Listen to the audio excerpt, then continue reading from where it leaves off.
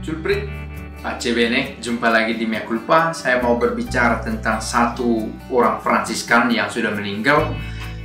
Umurnya 100 tahun, katanya 99 tahun, tapi diikut sertakan juga usia ketika dia 9 bulan di kandungan, maka diperkirakan 99 sampai 100 tahun. Dia meninggal pada bulan Mei yang lalu. Dan Fransiskan ini menjadi sangat istimewa bukan karena hanya umurnya yang yang banyak, tetapi juga karena sepanjang hidupnya dia bertemu dengan enam orang kudus yang sudah diangkat menjadi kanonisasi menjadi santo. Oh, itu jumlah yang banyak, jumlah yang banyak. Dia tinggal di Padua. E, namanya Frater Frateri Frater Giuseppe Ungaro. Giuseppe Ungaro. Dalam bahasa Indonesia itu Joseph setahu saya bisa dikoreksi nanti di, di kolom komentar. Giuseppe Ungaro meninggal di bulan Mei uh, di tahun ini tahun 2019 jadi oke okay, yang pertama saya harus katakan berita ini saya ambil dari aleteia.org dan eh, informasi ini direkomendasikan oleh seorang pak guru virtual uh, yang mengatakan oh baik juga diceritakan tentang orang kudus yang satu ini Lalu saya coba ceritakan. Frater Giuseppe Ungaro, 100 tahun umurnya, dalam kurun itu dia bertemu dengan enam orang kudus.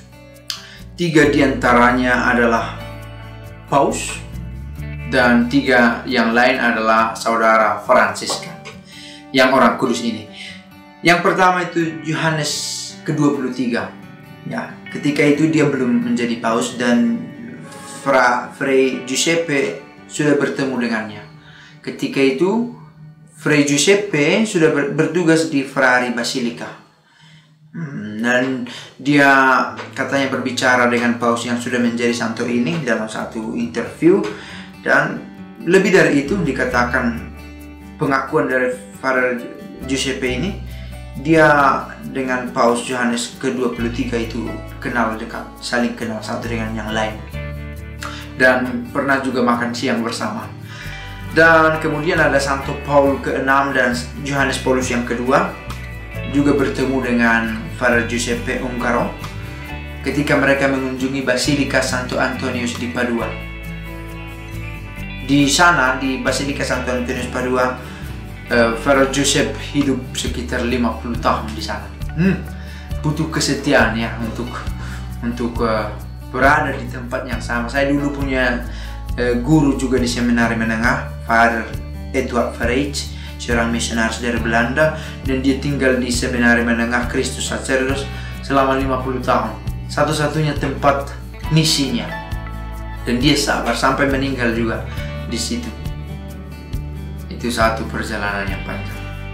Oke, kemudian setelah ada tadi Yohanes ke-23, ada Paul ke Paulus ke-6, juga Yohanes Paulus kedua, Giuseppe Ungaro bertemu juga dengan tiga orang kudus dari Fransiskan yang yakni ada Leopold Mandik dari Kroasia, seorang bapak pengakuan, juga Maximilianus Kolbe, konventual yang sebelumnya adalah juga Capuchin. Uh, lalu yang ketiga yang paling terkenal katanya di Italia, Padre Pio de Pietrelcina. Dia juga bertemu dengan ketiga orang. Dengan Leopold Mandik, dia seorang kapusin dari provinsi uh, dari Kroasia, terkenal sebagai bapak pengakuan.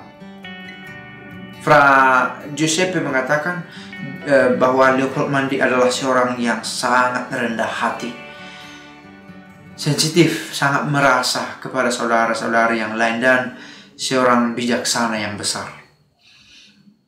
Hmm. Setiap setiap setiap Rabu Leopold Mandik datang ke Basilika eh, Antonius Padua. Nah itu dan ya ada pertemuan yang istimewa di sana antara Leopold Mandik dengan Santo Leopold Mandik dengan Giuseppe Ungaro. Kemudian Maximilianus Kolbe juga pernah ditemui uh, ada pertemuan dengan Giuseppe Ungaro uh, dan devosi Giuseppe Ungaro kepada Maria semakin terang semakin sering setelah pertemuannya dengan Maximilianus Kolbe. Maximilianus Kolbe menjadi martir dalam uh, peristiwa apa uh, serangan dari Nazi Jerman ketika Giuseppe Maximilianus Kolbe ikut dalam uh, camp konsentrasi Nazi.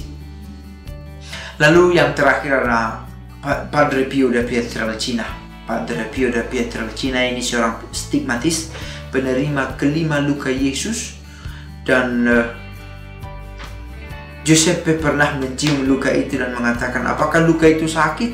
Lalu Padre Pio menjawab, ya Allah memberikan ini bukan sebagai sesuatu kenikmatan untuk saya. Artinya, ya itu sakit untuk dialami oleh eh, Padre Pio sendiri.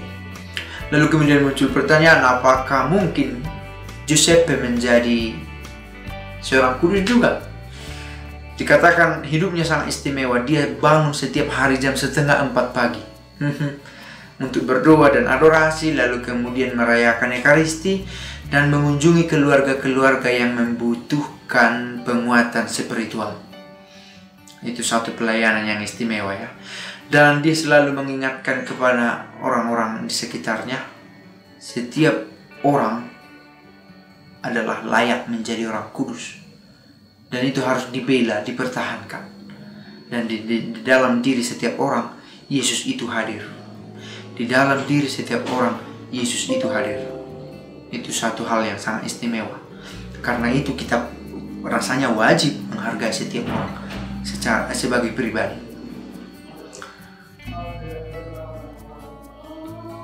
Banyak orang yang yang merasa kagum, uh, merasa terpesona dengan kehadiran saudara ini.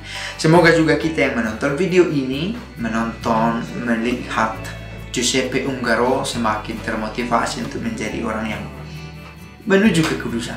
Karena kita semua adalah kudus tercipta dan kita akhirnya mempertahankan itu. Itu pesan Giuseppe Ungaro. Pace bene.